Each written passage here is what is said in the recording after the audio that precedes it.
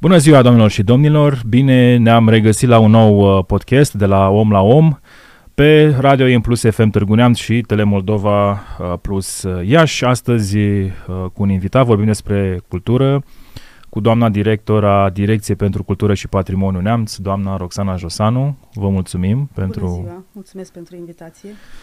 Uh, patrimoniu, un subiect uh, destul de vast, dar până acolo, pentru că um, vorbim despre, despre invitat în prima parte a emisiunii, cum s-ar prezenta Roxana Josan? Cine este Roxana Josan?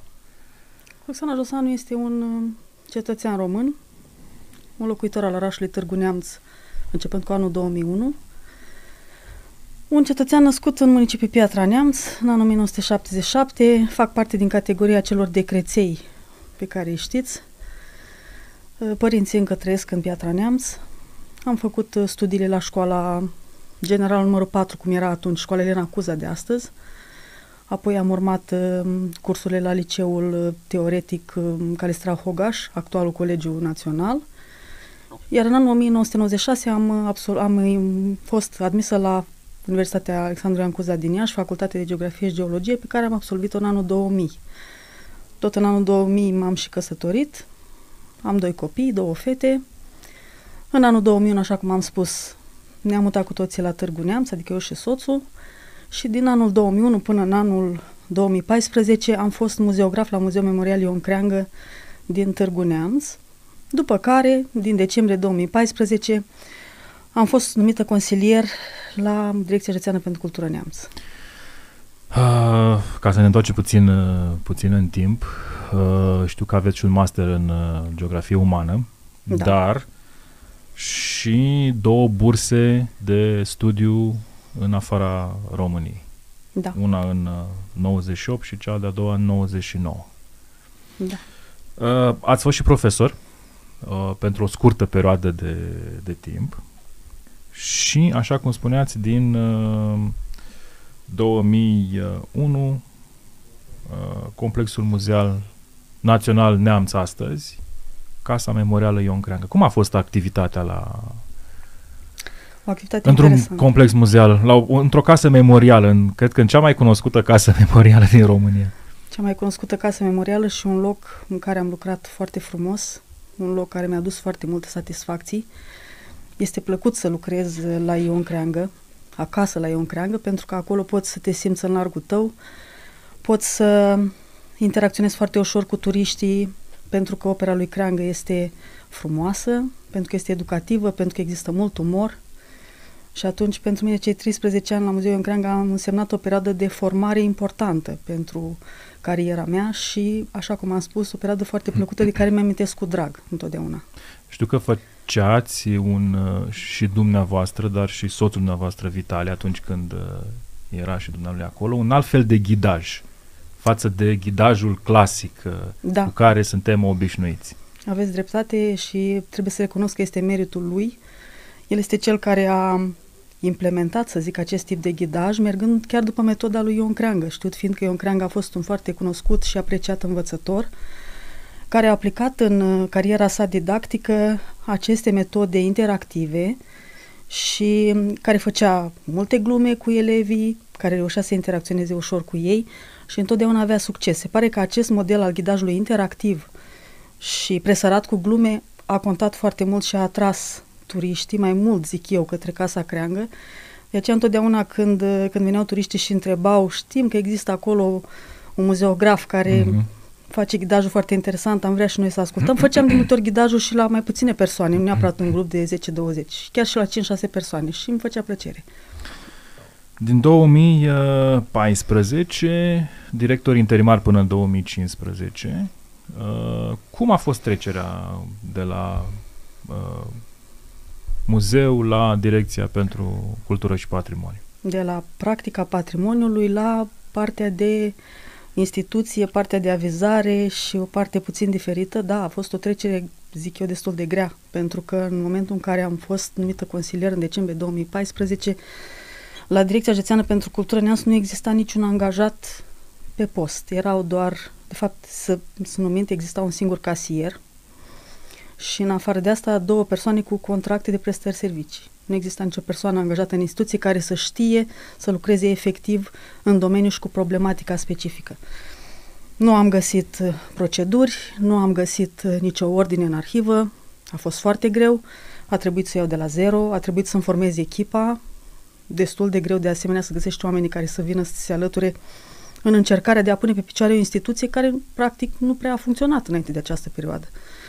Și în perioada de șase luni de interimat, pentru că așa cum ați spus până în iunie 2015 a fost un interimat, mi-a fost extrem de greu. În paralel a trebuit să învăț și pentru examenul de uh, ocuparea funcției publice de conducere și zic eu că a fost o perioadă de tatonări, după care am reușit încet încet să găsesc persoanele care să-mi fie alături și am construit o echipă, o echipă micuță cum este și acum, dar care a reușit să facă treabă și face în continuare treabă la Direcția pentru Cultură. Pentru că vorbeați de, de concurs, știu că l-ați luat cu o notă foarte mare, spre deosebire de foarte mulți candidați la unele posturi de conducere din zilele noastre care săraci nici cinci nu pot, nu pot lua.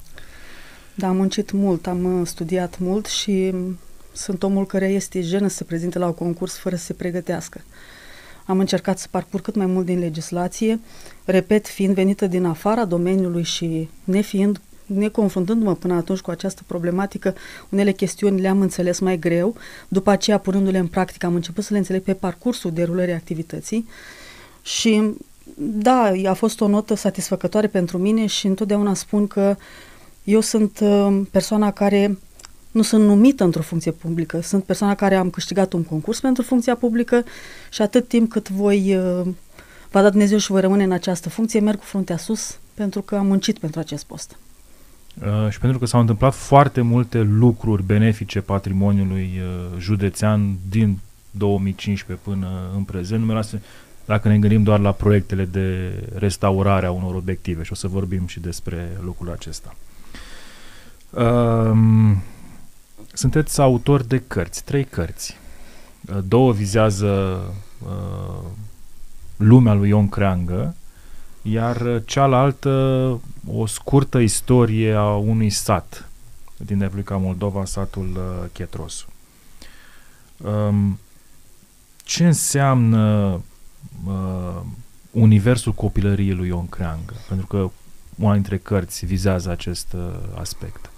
Universul copilăriei lui Ion Creangă înseamnă o carte de popularizare a acestei căsuțe a copilăriei, cum o numesc eu pe cea de la Humulești, o carte pe care am conceput-o pe înțelesul tuturor, am conceput-o ca un mic ghid pentru turiștii care vin la Casa Creangă nefiind uh, foarte la curent cu tot, tot ce s-a scris despre un creangă, mai ales cu partea, să zicem, de critică literară. Mm-hmm. Am vrut să fie o carte cât mai uh, ușor de înțeles, o carte care să îi facă pe oameni să uh, cunoască destinul marelui scriitor și uh, întâmplările din viața sa care de multe ori i-au influențat destinul și traducerea în limba franceză, pentru că până în acel uh-huh. moment la Casa Creangă nu exista nicio traducere într-o altă limbă, pentru turiștii din alte țări care vizitau și care erau foarte impresionați de această căsuță tradițională, mai puțin de partea legată de literatura lui Creangă, mai mult de tipul de construcție a casei și de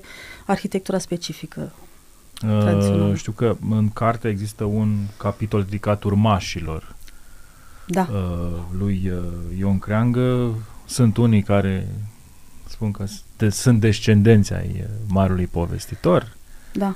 Uh, știu că în moment, uh, la momentul ăsta Casa Creangă este într-un proces de reabilitare. Da. Ce înseamnă Muzeul Creangă a câștigat un proiect cu fonduri europene ca și alte instituții muzeale din județul Neamț. Asta poate că a fost șansa muzeului pentru a beneficia de mai multe dotări și mm, o spun cu bucurie că mm, în Curtea Casei Creangă va exista și o construcție care va fi destinată personalului muzeal, ceea ce până acum nu a existat nici la Muzeul Creangă, nici la Muzeul Calistrat Hogaș.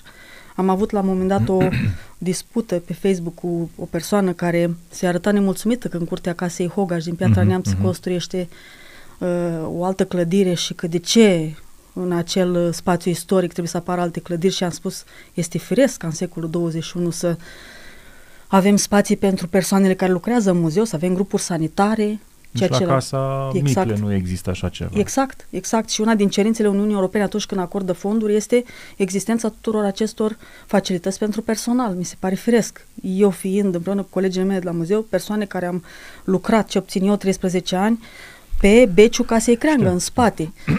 Condiții improprii, căldura venea abia la ora 12.1, când se apropia ora de plecare. Nu era deloc un spațiu în care să-ți poți desfășura activitatea corespunzător. De aceea salut acest proiect. Este vorba de restaurarea muzeului uh, în sine, adică de înlocuirea părților degradate cu alte materiale noi, bineînțeles similare cu cele uh, din care a fost realizată construcția, cu amenajarea respectivă și cu amenajarea uh, curții, care practic nici aceasta până acum nu a existat, spații în care să poată fi, în care să poată să stea jos turiștii, să poți să faci un ghidaj turiștii să nu stea în picioare, să poată să așeze, o să fie niște gradene pe care oamenii mm-hmm. se vor mhm. putea așeza pentru a sta mai comod și nu pentru a nu se obosi și să poată asculta ghidajul uh, în condiții bune. Bineînțeles că sunt critici care spun că nici la Casa Creangă nu era nevoie despre așa și de ce în partea da. din față și nu mai în spate, în curtea da. din spate sau în cea din lateral. Da. Uh, Niciodată nu poți să mulțumești nu, pe toată lumea. Nu, nu, nu, nu. Și cred că un asemenea, o asemenea clădire pentru uh, cei care lucrează ar trebui și la muzeul uh, din Târgu Neamț. Obligatoriu. Obligatoriu. Știm foarte bine cum stau acolo înghesuiți. Așa este. Din respect pentru personalul muzeal care depune un efort și care își aduce aportul pentru uh, punerea în valoare acestor obiective, trebuie să existe asemenea spații. Este firesc. Uh, cred că e timpul pentru primul calup de întrebări și prima întrebare ar fi uh, ce nu iubiți deloc? Nu iubesc prefăcătoria, nu iubesc, uh, să spunem așa, încercarea de intimidare, nu iubesc nerespectarea legii. Um, ați face ceva pentru bani? Doar ceva ce presupune o muncă cinstită, nimic ce ar putea însemna uh, lucruri certate cu legea. Uh, v-a fost rușine vreodată de ceva anume? Mi-a fost rușine atunci când uh, ne sunau oamenii și doreau să ajungă la Direcția Județeană pentru Cultură și nu găseau sediul. Uh, uh, da, e, e drept că e cumva așa mai la, mai la dos. Da. Dar asta pentru mine a însemnat că instituția nu a funcționat. Um, care este ultima realizare? Ultima realizare este, de fapt nu este ultima, sunt mai multe realizări care fac parte din aceeași categorie, exact ce spuneați dumneavoastră, aceste proiecte cu fonduri europene care se derulează în județ la momente istorice și mă O să bucură. vorbim imediat. Da. da. Și ar fi ceva fără de care nu ați putea trăi? Fericirea. Nu aș putea trăi fără fericire. Sunteți și singura familia. care până acum a răspuns la... Da, cu, și familia cu această definiție. Da. Bun. Um, urmează alte cinci întrebări mai pe finalul emisiunii. Îmi dați emoții. Uh, uh, nu, sunt întrebări de cultură, că tot, uh, tot vorbim despre cultură și patrimoniu. Uh, spuneam că de când uh, sunteți la direcția, la conducerea direcției, s-au întâmplat foarte multe lucruri benefice pentru uh, patrimoniul uh, județului Neamț. Uh, Ehm, eu știu așa, Mănăstirea Tazlău, ehm, la Pângărați au început ehm, lucrările sau se derulează în continuare, Secu tocmai încheiate, Sihăstria, la fel. Câteva biserici din, din județ. Hanul de la Șerbești va urma, de la Ștefan cel Mare. Spuneți-ne mai multe, ce au însemnat aceste lucrări? Aceste lucrări au însemnat un volum foarte mare de muncă din partea celor care sau, să spunem așa, la propriu înhămat la aceste uh, demersuri, a însemnat uh, muncă de convingere pentru noi, pentru că mulți se temeau de aceste fonduri europene, știau că este greu să accesezi, știau că este mult de muncit, știau că nu este sigur dacă vor reuși sau nu. Dar până la urmă ne bucurăm că a reușit să-i convingem și în momentul în care am convins, i-am convins pe primii, cred că după aceea a urmat așa ca o bandă rulantă, s-au încurajat și alții și au început să depună. Acum sunt mai mulți care vor să depună proiecte, dar din păcate s-au cam epuizat fondurile, deci au prins curaj. Uh, și până la urmă pe noi ne bucură și am felicitat pe toți cei care au avut răbdarea să reziste până la final și încă mai muncesc pentru că acum se fac evaluările, se fac, uh, se trag liniile, se stabilesc ultimele detalii. Uh, știu, de exemplu, că părintele Stares de la Secu, un încântat de, de proiect, acum spunea ultima dată la simpozion, aș mai depune pe ceva, să mai fac ceva da. la, la mănăstire. Și el era unul din cei reticenți. Da, da, da. Chiar a uh, depus, a făcut un alt proiect pentru partea cealaltă de mănăstire, bucata de mănăstire care n-a intrat în primul proiect și acum așteaptă oportunitatea și portița pentru a primi acești bani. Au fost lucrările, toate aceste lucrări de restaurare, reabilitare a acestor uh, monumente de calitate, pentru că știm ce s-a întâmplat la Piatra Neamț cu Beciul Domnesc și Curtea Domnească, știm problemele de la cetate, da. care tot pe fonduri uh, europene s-au, uh, s-au realizat. S-au realizat. Nu aș putea să vă răspund 100% dacă au fost lucrări de calitate. Aici trebuie să răspundă cei care au lucrat, inginerii și constructorii. Noi sperăm că s-au făcut lucrări cu responsabilitate pentru că asemenea intervenții cu fonduri pe monumente istorice se întâmplă poate o dată în viața unui monument istoric și să sperăm că lucrările vor uh, rezista și că și peste zeci de ani oamenii se vor bucura de monumente Uh, știu uh, sigur că uh, atunci când vorbim de fonduri europene și verificările sunt mai riguroase uh-huh. și atunci nu poți să riști să folosești materiale improprii în asemenea proiecte. Da, care este rolul sau care este contribuția direcției în uh, aceste lucrări de la monumentele, monumentele istorice? Cele pe fonduri europene. Și nu, nu neapărat da. doar cele pe fonduri europene. Contribuția direcției este că întotdeauna ne-am uh, am fost la curent cu mm, posibilitățile de finanțare care au apărut. Am colaborat cu colegii de la ADR Nord-Est și cu cei de la AFIR Neams și le-am solicitat să ne comunice mereu care sunt uh, banii care se dau și pe ce linii de finanțare și apoi am discutat cu fiecare în parte, mai ales cu cei care administrează ansambluri de monumente. Dacă ați observat dumneavoastră, majoritatea fondurilor au fost uh, folosite pentru restaurarea unor ansambluri, pentru da, că aici da, e vorba da. de cheltuială mare și pentru o mănăstire, să luăm exemplul uh, mănăstirii Tazlo, ar fi fost aproape imposibil să facă asemenea lucrări din veniturile proprii, știut fiind că acolo sunt doar doi uh, trăitori și atunci este extraordinar de greu. Uh, Uh, și atunci am uh, mers pe puterea de convingere, am încercat să le explicăm că asta este șansa ca monumentele pe care le administrează să poată să uh, redevină ceea ce au fost și că nu vor putea niciodată să, din fondurile proprii, să le restaureze. Și atunci încetul cu încetul, mai uh, explicând, mai amendând câteodată, am reușit să-i convingem.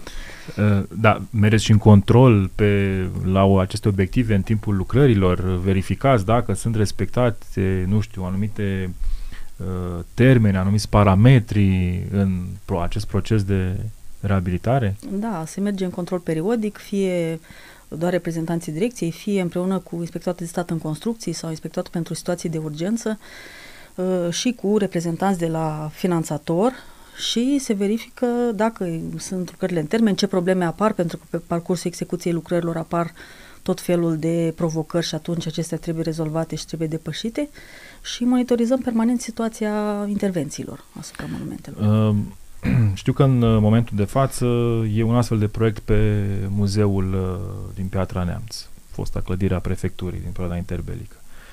Uh, multă lume, lume condamna faptul că, domnule, lucrările durează, de ce durează atât de mult, tipic uh, românesc, nu se mai termină. Care e situația?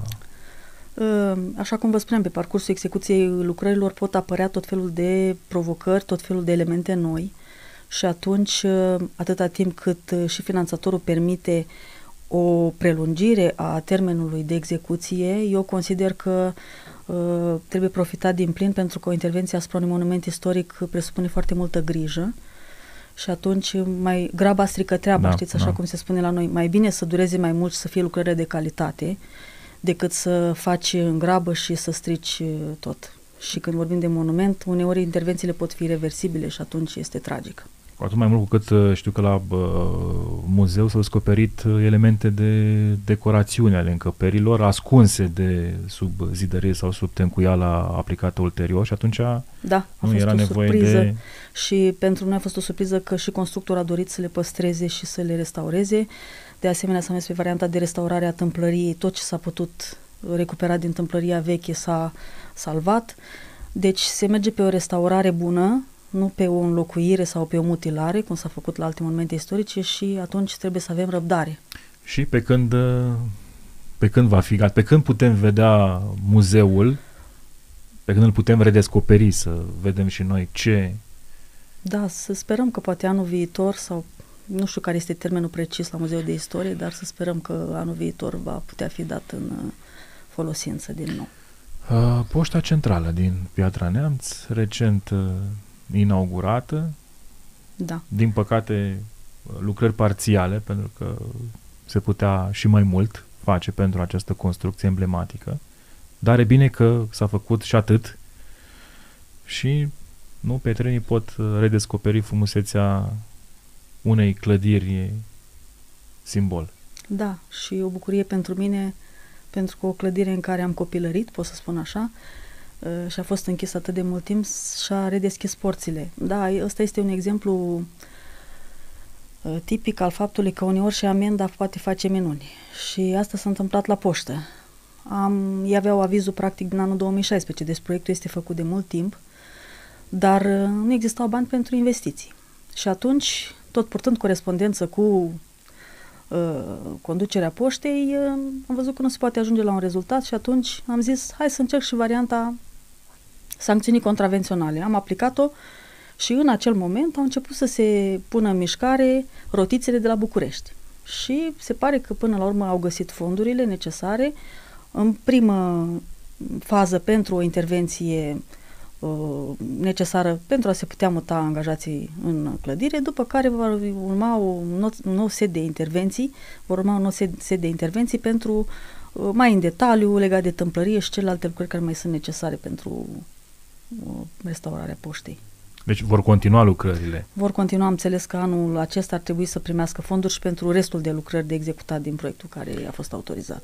Uh, în Piatra Neamț mai sunt clădiri care ar merita, ar merita salvate și îmi vine acum în minte pentru că a fost recent 24 ianuarie, este casa în care și-a trăit ultimul an din viață soția lui Alexandru Ioan Cuzen Acuza.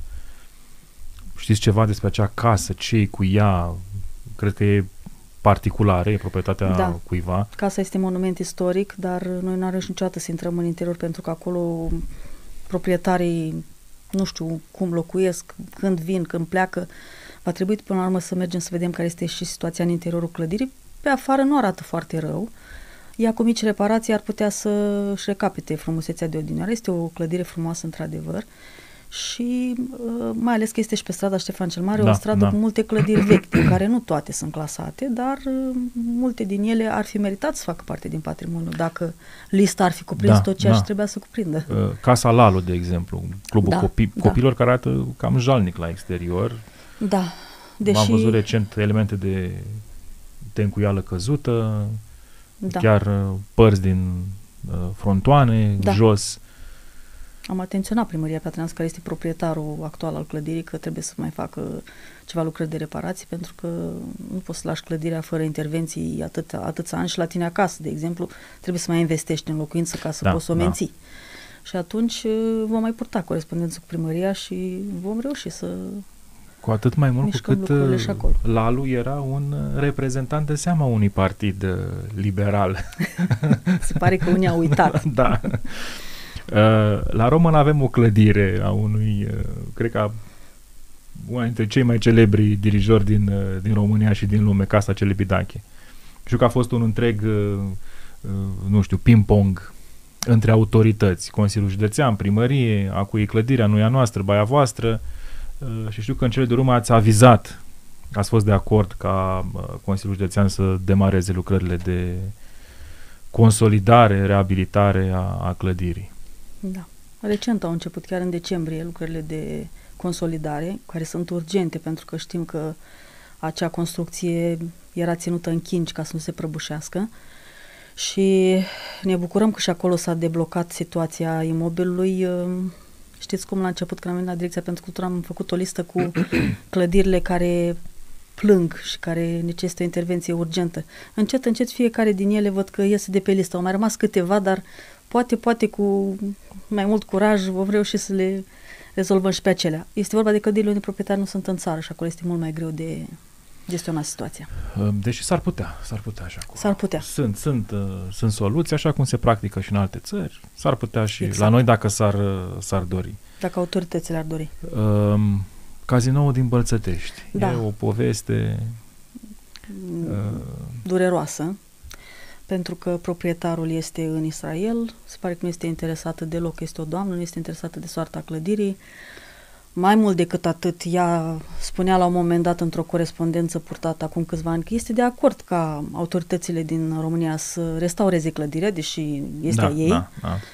Uh, cei de la Unitatea Militară de la Bălțătești ar dori să o achiziționeze, dar se pare că doamna ține foarte mult la preț și uită faptul că pe lângă prețul de achiziție în acea clădire trebuie investit și trebuie investit foarte mult pentru a o readuce la o situație uh, satisfăcătoare și atunci uh, clădirea a rămas așa cum o vedeți. O văd și eu în fiecare zi de câte ori trec uh, spre Piatra Neamț și dimineața și seara și mă doare pentru că a fost o bijuterie, am văzut și fotografiile vechi, a fost o frumusețe pentru Bălțătești și poate, poate că anul acesta vor reuși cei de la unitatea militară să ajungă la un uh, numitor comun cu proprietara și să cumpere clădirea. Asta ar fi singura șansă. Dar cât cere ei. doamna așa de curiozitate? N-aș putea să știu, știu că sunt sute de mii de euro, n-aș putea să vă spun cât, doar cei de la unitatea militară vă pot da un răspuns în acest sens.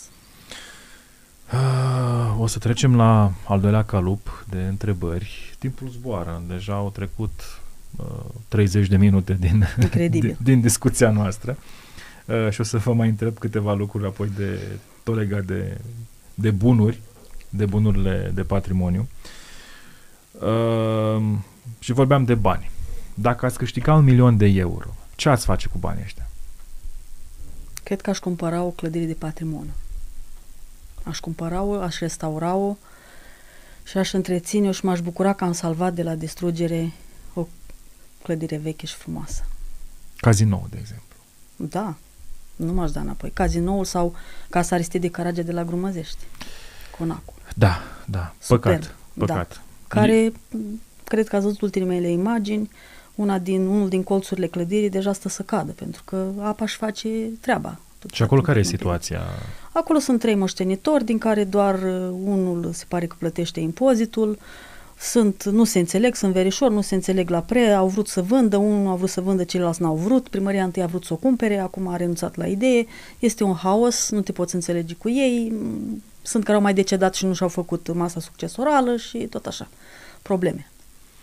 Uh, nu știu, eu aș uh, da o lege dacă aș fi uh, nu știu, în Parlament sau uh, chiar la Ministerul Culturii și aș spune așa, proprietarii care nu reușesc să-și întrețină casa, care este obiect de patrimoniu, în termen de atâția ani, casa va fi va trece în proprietatea statului. Da, asta ar fi fost condiții obligatorii la legea de retrocedărilor. Cu cât, da, cu cât tu nu locuiești acolo, adică Tocmai. tu o ții închisă de Tocmai. zeci de ani, nu faci nimica pentru a o întreține, se da. degradează și atunci, da, ți-o iau. Da, mie nu vine să cred că în legea retrocederilor nu au fost uh, prevăzut nimic pentru monumente separat de celelalte clădiri. Cum să retrocedezi tu o clădire de patrimoniu și să nu impui nicio condiție pentru un nou proprietar? Dacă în atâția ani nu faci nimic, statul ți-o poate lua. E, ministerul nu are procedură, așa că, Ministerul Culturii, așa că mai vorbim de legi. Da. Uh, ce carte v-a, v-a marcat pe care ați citit-o? Fie în copilărie, fie mai O carte mai care încoace? se numește Pustiirea și care vorbește despre foametea din Basarabia.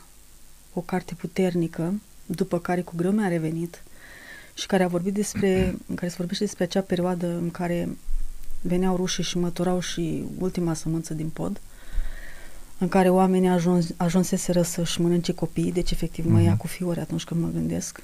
O carte pe care o recomand celor care vor să știe prin ce tragedie a trecut, au trecut românii din, de, de, în, de, în lungul istoriei da, sau de-a lungul istoriei pe care au, pe care au trăit-o.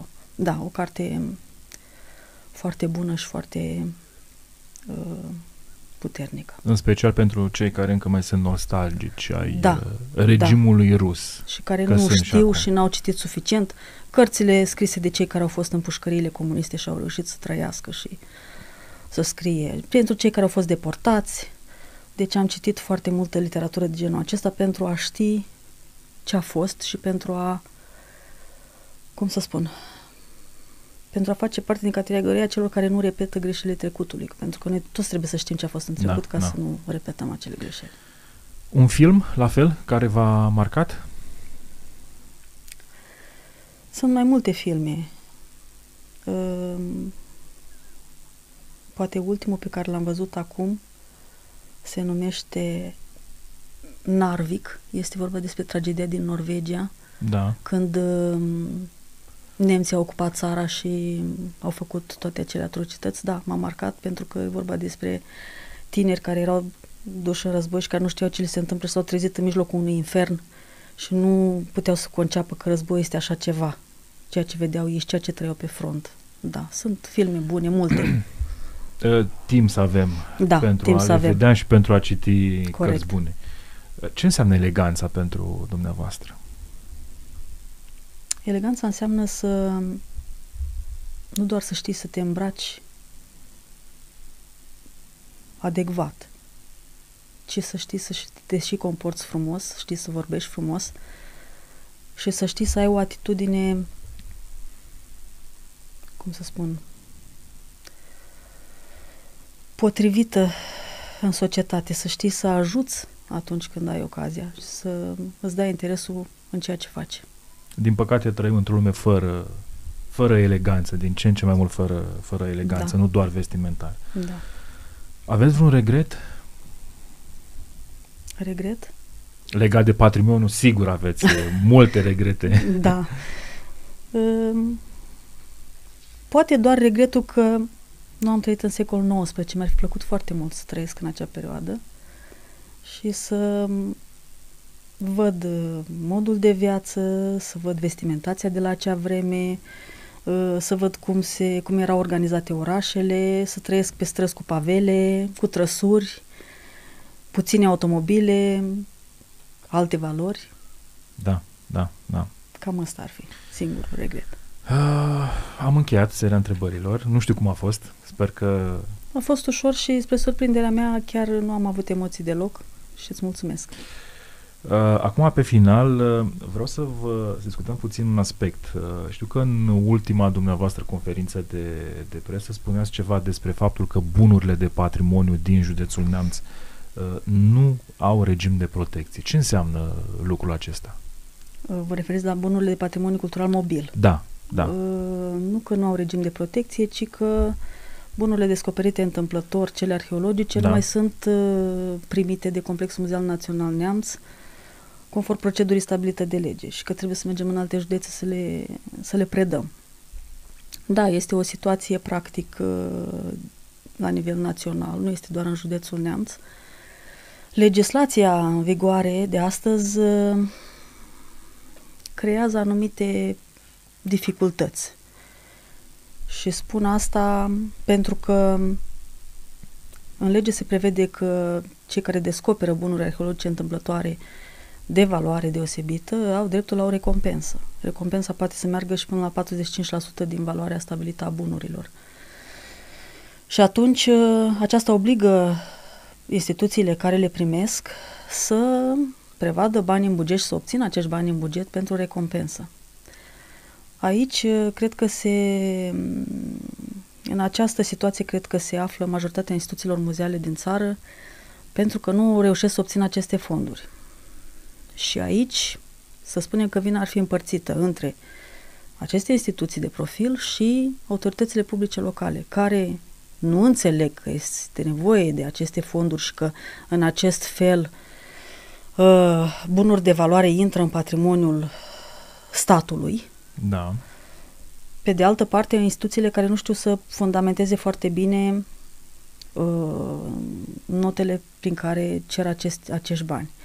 Trebuie să recunoaștem că și legea nu este chiar una fericită, pentru că atâta timp cât Constituția României spune că bunurile care se află în subsolul țării aparțin statului, um, nu poți să introduci tot așa într-o lege a statului român că oamenii care descoperă aceste bunuri sunt obligate să le predea statului, trebuie să fie recompensați.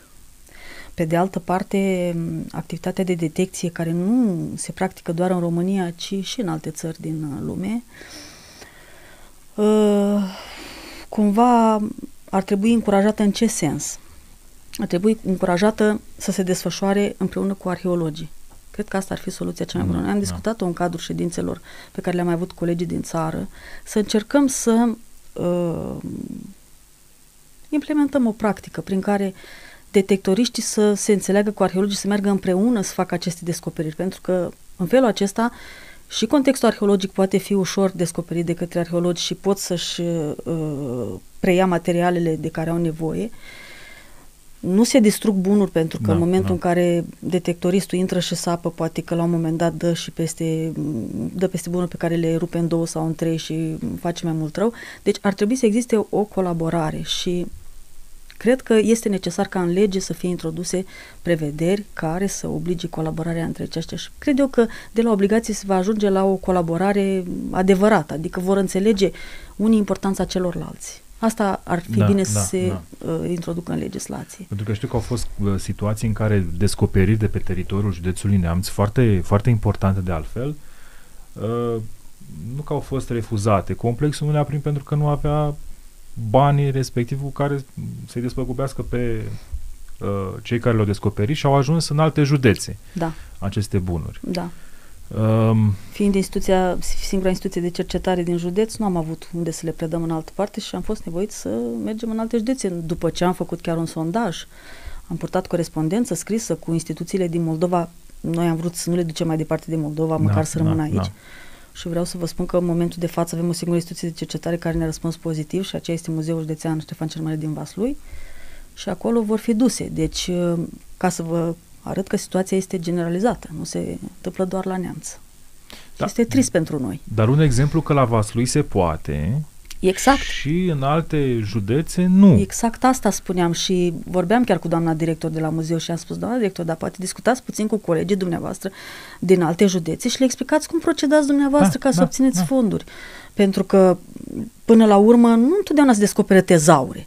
Astea sunt descoperiri rare. Da. Și atunci e păcat ca bunuri de asemenea valoare să nu rămână în muzeul din neamț, să nu le vadă locuitorii județului și să plece în alte județe. Cum spunea chiar și doamna director, sunt aici bunuri care... Noi suntem un muzeu mai puțin vizitat decât cel din Neamț decât cele din Neamț. Ar avea un mai mare impact dacă ar rămâne acolo. Într-un da, fel îi părea da, și ei rău că da, nu rămân. Da. Și am spus, bun, dar poate atunci dumneavoastră purtați o discuție și încercați să îi învățați cum să procedeze ca să obțină fondurile, pentru că până la urmă există o metodă, cred eu. Și mai sunt și alte județe care primesc. București, nu mai spun, Muzeul Național de Istorie primește bunuri și din alte județe, deși n-ar trebui să le primească. Da, deci da. sunt foarte... Numai că, din păcate, la București nu n-au unde să le expună. Asta momentan. e adevărat, da, și pentru noi ar fi mult prea departe să ajungă în București. Uh, un gând pentru cei care ne ascultă, un gând pentru, nu știu, pentru promovarea patrimoniului. Uh, există și un patrimoniu imaterial formidabil despre Excepțional, care, care nu este pus în valoare așa cum ar trebui sau doar o parte din patrimoniul material este pus în valoare și partea ce ține de mm, creație populară, și aici mă refer la arhitectura tradițională în primul rând, aceea este lăsată deoparte și, din păcate, proiectul nostru cu punerea în valoare arhitecturii tradiționale se lovește de indiferența, aș zice eu, a primăriilor din comune, care nu văd în aceasta o resursă pentru comunitatea locală, deși ar fi o resursă excepțională. Nu știu, nu, nu cred că există, cred că nicio inventariere a caselor vechi din... Uh, nu, nu există o inventariere. Și v-aș, v-aș propune un, uh, un proiect. Da. Care, care știu că, că s-ar putea realiza împreună cu inspectorul școlar județean, uh, implicate școlile și copiii, care să inventarieze în cu fiecare, uh, în fiecare comună, în fiecare stat, astfel de case vechi da. cu arhitecturi excepționale. Noi de altfel am mai făcut un proiect de genul acesta cu copiii din școli, dar am făcut prin intermediul bibliotecilor cei drept. Am făcut un concurs, să știți că a fost destul de, au fost destul de receptivi copiii. Mai ales că au primit o diplomă, au mai primit ceva dulciuri. Am putea face. Problema este că nu trebuie să ne oprim aici, doar la această inventariere. Trebuie Da, să mergem da. mai departe și cu cercetarea. Și atunci, Da. Chiar aș vrea să apelez la dumneavoastră să încercăm un proiect de genul acesta, să găsim specialiștii care să ne ajute să facem un ghid de arhitectură sau un ghid, un inventar al arhitecturii din neamț, cu explicații concrete despre stiluri, despre uh, forme, despre tot ce ține de această arhitectură tradițională, cred că ar avea un mare impact. Putem să facem și pe comune, Da, dacă- da, ca da. să fie mai ușor. Pentru că de la o comună la alta există diferențe Da, arhitecturale da. importante. Uh, pentru că e păcat, casele de, uh, se pierd.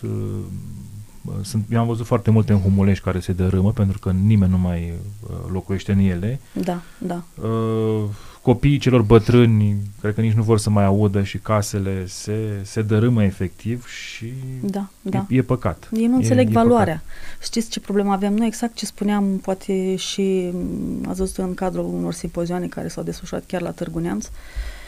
Cum poate Bu- Bucovina să-și promoveze patrimoniul și cum înțelege să-l promoveze și cum a reușit să facă din arhitectura tradițională în anumite localități, a reușit să facă un uh, motiv de mândrie. Și aici nu vorbesc doar de Ciocănești, Da, pentru că da, știți da, că este da. reprezentativ. Sunt și alte sate unde s-a impus la nivel de primărie ca tot ce se construiește să se construiască după anumite modele uh, ale arhitecturii tradiționale. S-au creat 3-4 tipuri de case și cei care își construiesc au dreptul să-și aleagă ce model vrei.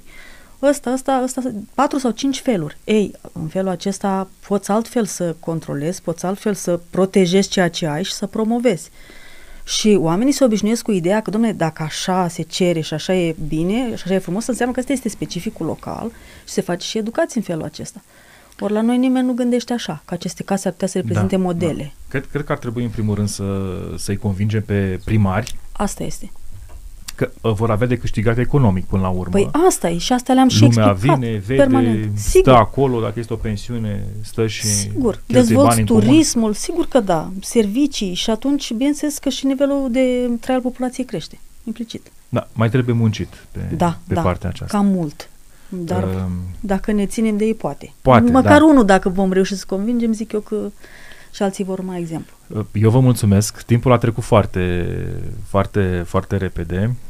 Dar dacă acceptați, mai discutăm. Uh, Vă mai invităm și mai discutăm despre, despre patrimoniu, mai așa, mai pendelete. Cu mare drag. Uh, Vă urez mult succes și să fie un an uh, plin de proiecte uh, și de reușite în uh, conservarea, în reabilitarea uh, patrimoniului uh, județului Neamț. Da, vă mulțumesc. Să dea Dumnezeu și pentru că ați spus un gând de final, dacă îmi dați voie să-l spun. Da? Mă gândeam la această situație din Turcia cu, cu tremurul care a impresionat toată lumea. Dacă ați văzut unul din orașele care se afla chiar în mijlocul Oraș uh, epicentru, hitit, Da. fostă nu a avut nimic, nu a avut deloc de suferit pentru că acolo s-a aplicat legea și Da, pentru că acolo da. construcții au fost făcute cu responsabilitate. Cam așa încercăm să fim și noi. Direcția Județeană pentru Cultură să nu facă rabat de la lege și să nu cedeze deloc în fața celor care vor să facă lucrări de mântuială și să distrugă. Și sperăm să ne ajute Dumnezeu să o ținem tot așa. Mult succes vă doresc. Mulțumesc! Vă mulțumesc. Până data viitoare, rămâneți pe frecvențele Radio În Plus FM Târgu Neamț și Telemoldova Iași. La revedere!